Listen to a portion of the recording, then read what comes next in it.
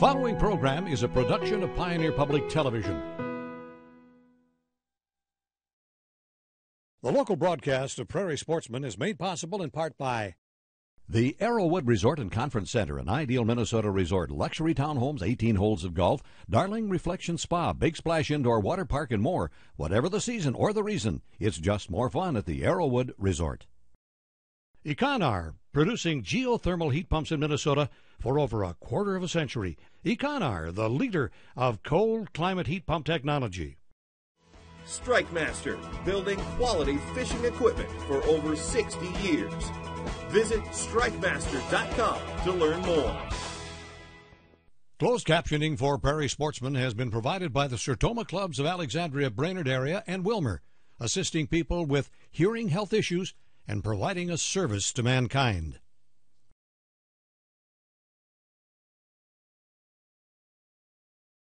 And by the outdoor enthusiasts who are members of this station. Welcome back to Prairie Sportsman. We're glad to have you along. Let's take a look and see what we've got lined up for you. We're fishing for walleyes on the Minnesota River with leeches as our favored bait. Then Chef Curt brings us to his kitchen for a special rabbit recipe. mash it tight. I just want it to have a nice look when it comes out of the oven. Stay tuned. Prairie Sportsman's coming up next.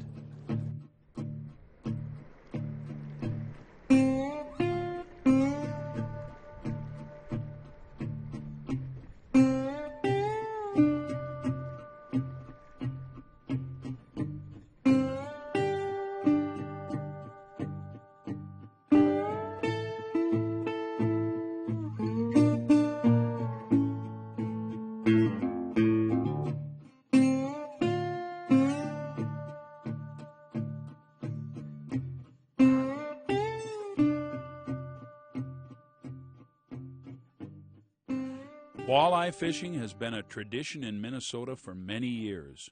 Join me with my prairie pal Bob Hagen on an outdoor adventure down by the Minnesota River. Old time river rats are always happy when the season changes out on the prairie. On the Minnesota River, as the temperature drops from summer to fall, the walleyes go on the bite my pal Bob Hagen and I are hungry for those tasty walleyes. Fishermen and pelicans alike share the walleye action this time on Prairie Sportsman. This one's a little too small, so we're going to toss him back. All set? It'll be, it'll be nice next year.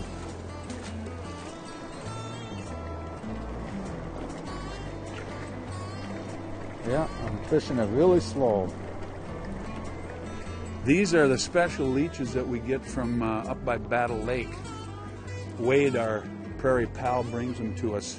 And these are the last leeches now of the fall because as you can see, it's, there's some snow still over clinging to the to the uh, bushes over there and it's it's middle of October we're having an early snowfall and more maybe to come this week but we'll see about that but anyway these little leeches are going to be the ticket for the walleyes We've already knocked off a couple walleyes and we're going to get some more now with these. They're beauties.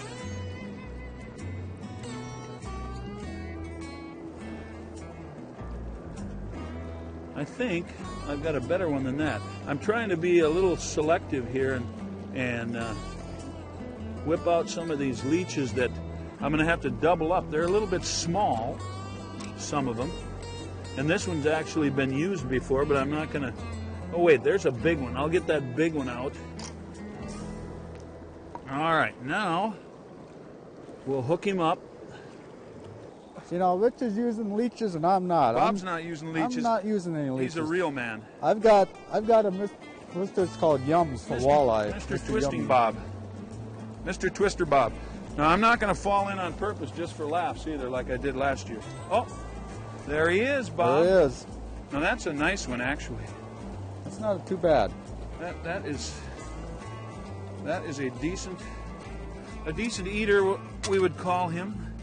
Look at those little things they they chew on you when they can, and they rip you with their gill plates. But this is a beautiful little eater that we're going to take home for snacking. There he is. And we're back in we're back in catching mode. Yep, we're back in business. This is all I'm using. Just a white Mr. Twister and a, a red jig head. Now Rich is using leeches and I'm not.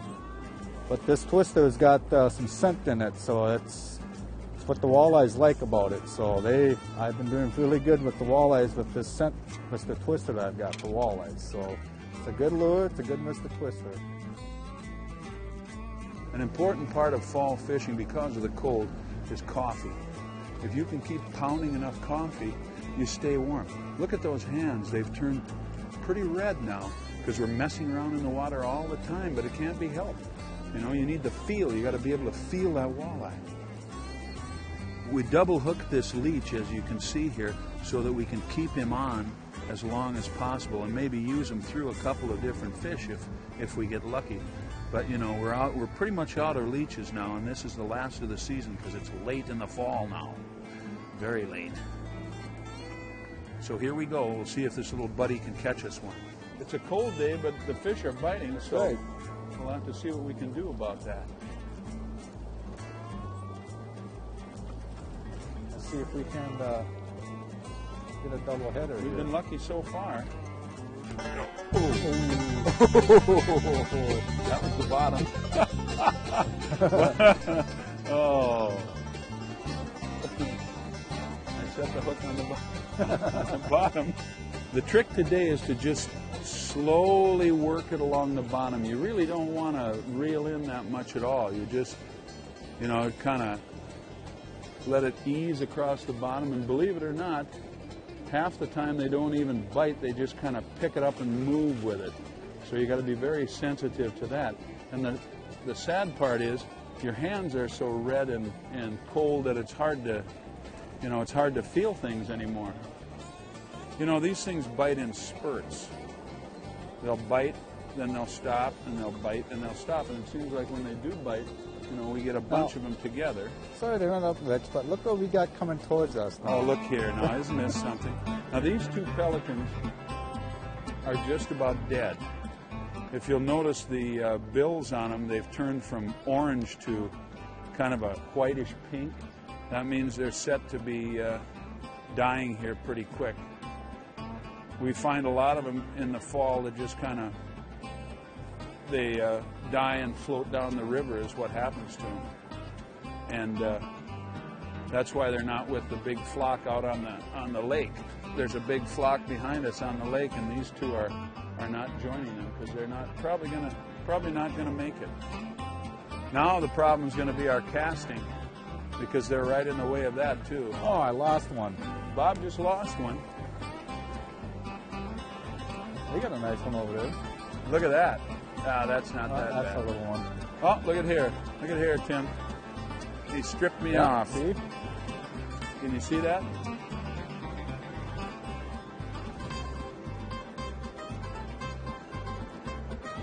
They aren't too big anymore. Whoop, there's one. Oh, come on. Come on. Come on. Now, we'll go with two. Two will work. Come on. Two. Yep, there we go. All right, now let's see what we can do. All right, Rich is back in the action here. Back in action again. If I can un- untangle. Chartreuse was working for a little while. Yeah, but it isn't the it isn't the ticket right now. No. All right, so we just kind of try and keep it still Yep. and let it hang down there till one of these walleyes finds it. A little bit harder to catch, really. Yep. But once you do catch one, they- they are nice to catch. A nice Yeah. big walleye. Oh, those hands are just nothing. Just a little cut, walleye cut. There we Oh, go. there There we go. go. Okay, come on, baby. Oh my! What in the world? No, that's a snag. I think it's a snag. Now, I think me and you have got our lines crossed. I think we do. I think we do too. Oh, there we go. Woo! Another leech. I, I had a bite and lost it, so that was a that was a leech that uh, got taken by a fish. Keep coming in, Bob.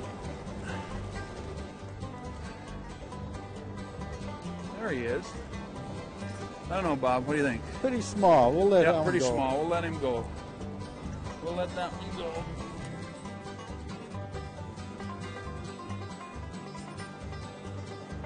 Yep. Let him go. Sounds like a good big. plan. Yeah, I think we can do a little bit better. I think so. Hold on. Oh.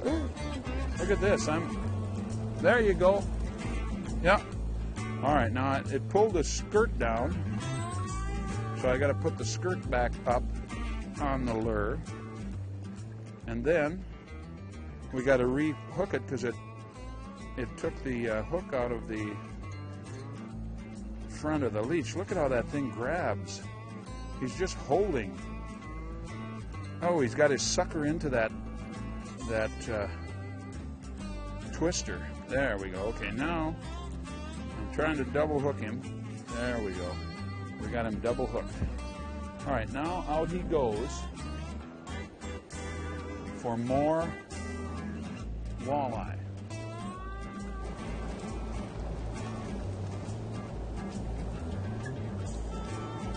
You know, you're gonna need a piece of glass like that. Yeah, even that can mess up your presentation. My little skirt is being knocked down.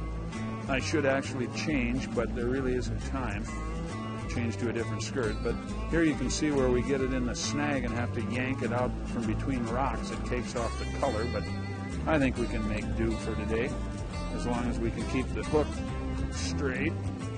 This isn't a good procedure either because that just weakens the hook going back and forth like that. But we'll try and get it, try and get it back into shape and catch a couple more and finish our limit out. Look at that. Now don't lose him. I just did. He just lost him.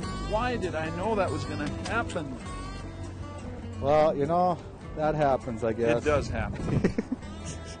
and you're not mad, I know that. No. Here it comes. This is a big one. This is going to be a big one. He's going to get bigger the farther in he comes. Yes. Ah, All right. All right. there you go. Here he comes. Here he comes. Here he comes. Here he comes.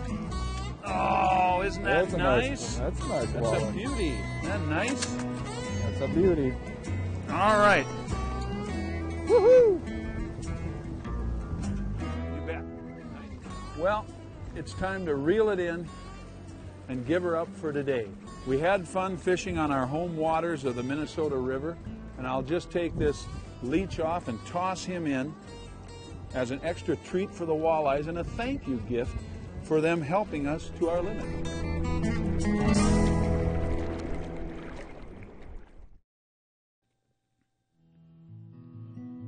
The seasons of our lives roll by like the river. We're marking time on our journey with the opening days and the highlights we will remember forever. The people we're with, the places we go to, all go together to make these outdoor memories. And behind it all is Minnesota and the prairies we call home. Minnesota's outdoor heritage is as old as our state and is in no way diminished by time. The upper Midwest today is still an area that marks its seasons by the string of opening days from fishing opener to the deer openings. We mark the years and pass on the heritage to the others, the sons and daughters who will carry on the outdoor lifestyle for all of us. We're very fortunate to have Chef Curt Anderson on the show with us. He's always entertaining, and we enjoy his company. Let's see what he's got cooking for us this time.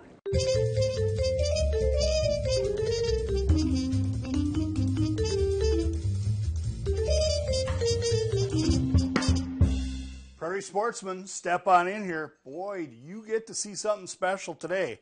Look what I got for a gift from Rich. Those guys in the spring went out uh, hunting for morels. Now, he said something about them being easier to find if you could find a cottonwood tree. I love the way he packaged them. Look at he put a string through them and just tied them together, almost like you would do garlic cloves. Wasn't that ingenious? So anyway, and then he's done the issue of drying them. So I was surprised when I got the box because it didn't weigh nothing. Very light. However, here's what we've done with it. Uh, we're going to make a rabbit casserole today. Uh, we've already boned out the rabbit meat, and I boiled the rabbit meat. Uh, we'll go with that in a second, but I want to show you what happens with these morels. Just a little bit of warm water, you know, and you pull them out. They're gonna. I'm just draining them off a little bit. I'm going to add some other mushrooms to this too, because morels are. Well, once you get them, they're they're costly mushrooms, so you want to hang on to them too. You don't want to waste them. They're a very uh, earthy tasting mushroom. So they're a lot of fun to add to dishes. And uh, not only that, they give it a texture and a flavor that you won't necessarily find in anything else. In this case, once they're softened, and that process only takes us a couple of minutes in warm water, once they're softened, they can be utilized in just about anything.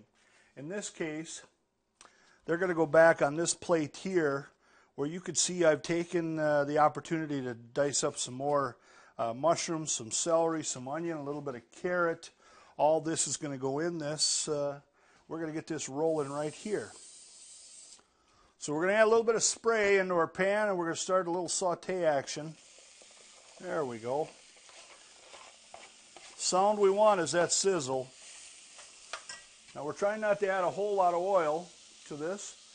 I was on medium heat. I'm going to turn it up a little bit higher to about six or seven. For those of you with gas stoves, that'll be about a 3 fourths flame. Okay? Now we're going to try to cook this down and then cream this out. So that's going to take us just a minute to go. In the front here, you're going to see the water that I had left from the morel mushrooms.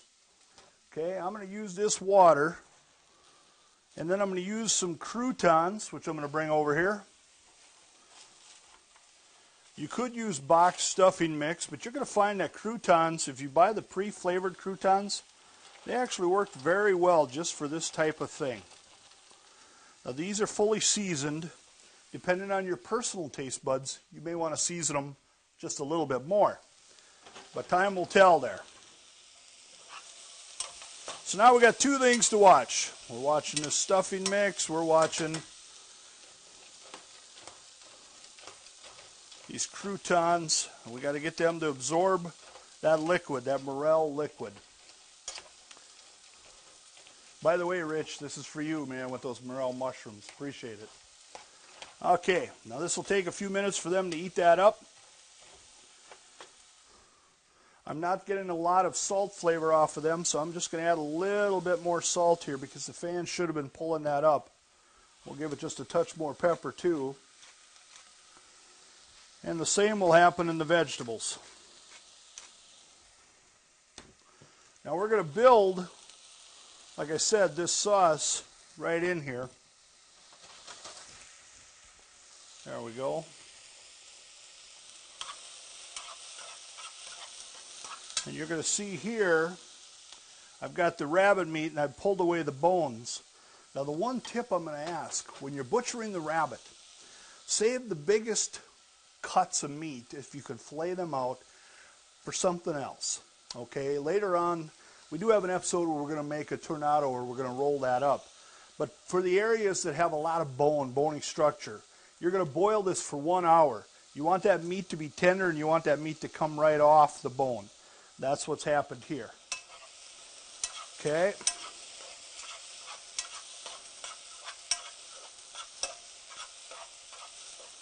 Very nice.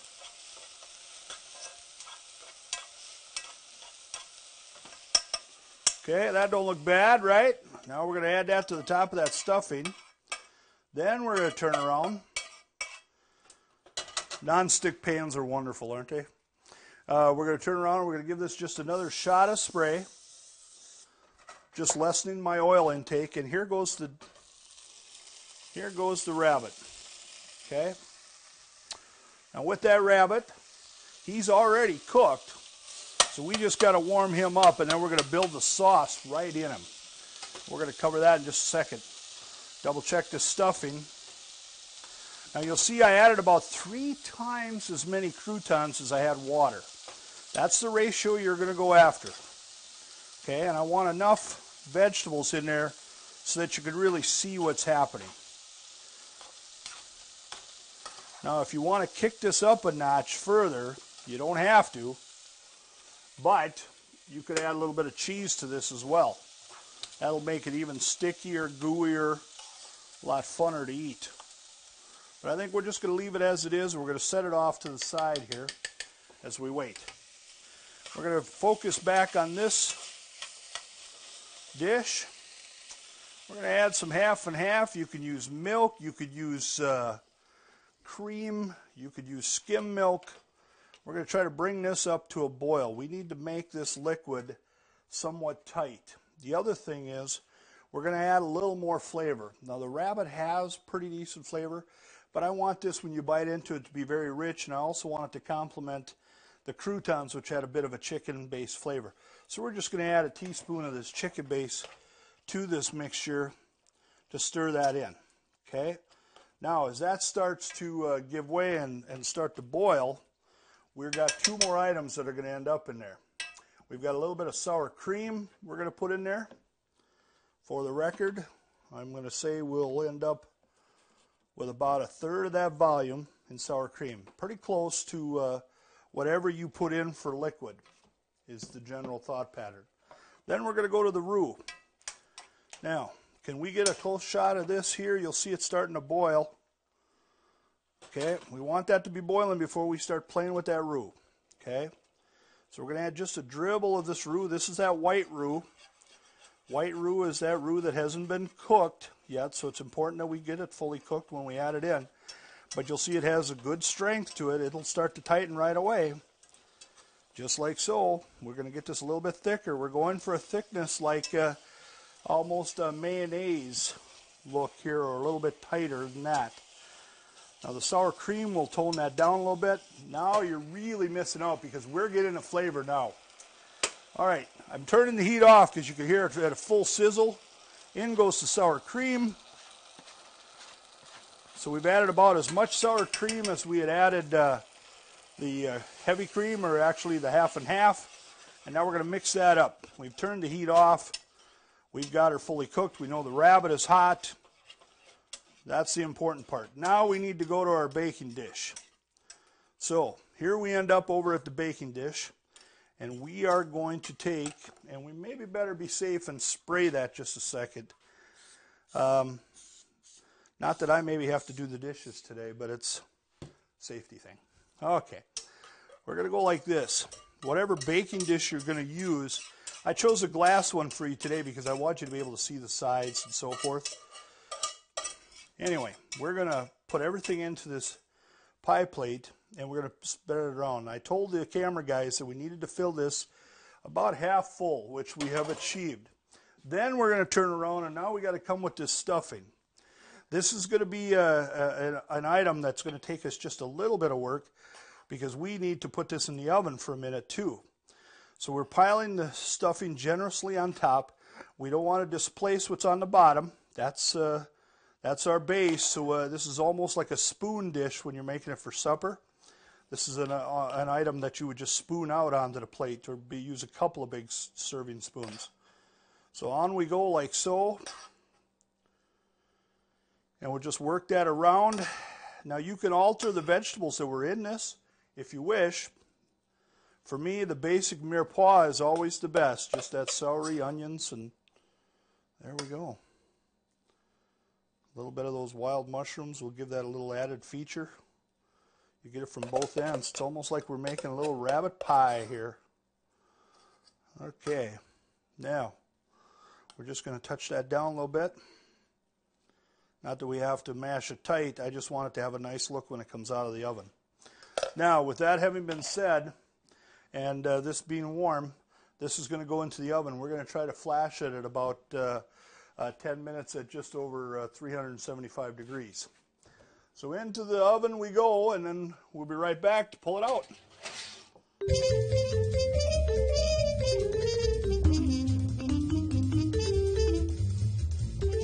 All right, here we are, rabbit casserole coming out of the oven. Remember how that looked when that went in?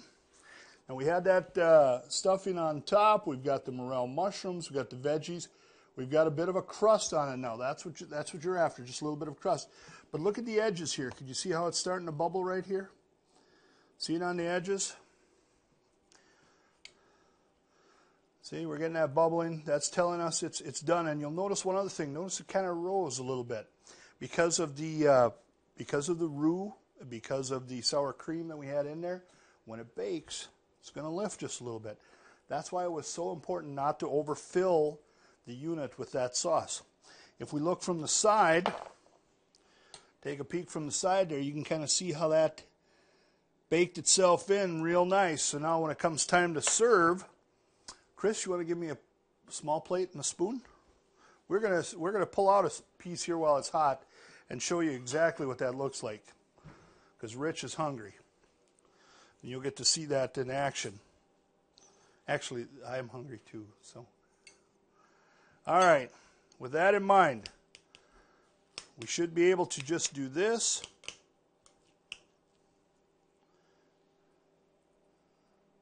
And there you have it. Should look just like that. The aroma is fantastic. You know, it's it's fun when you can make something and and it just it makes you hungry to smell it. You got to love that feeling. Nice, steaming hot. You'll see how that liquid solidified itself in there now, so it's just become a beautiful, almost hot dish like. But it's one that if you share that with others, man, they're going to be asking for more. I guarantee. You give that a try. We came up with this just for you guys. Good luck and happy eating.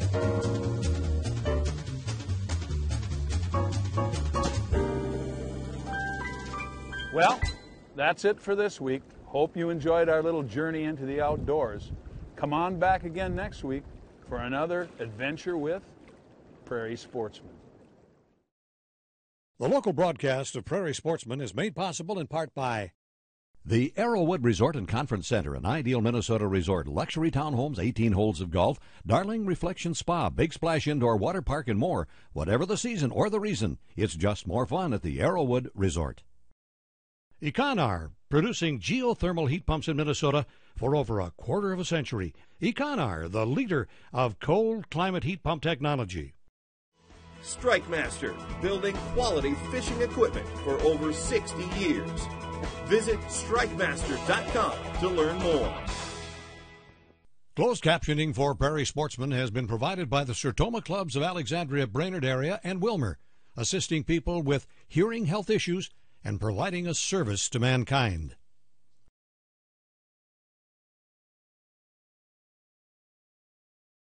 And by the outdoor enthusiasts who are members of this station.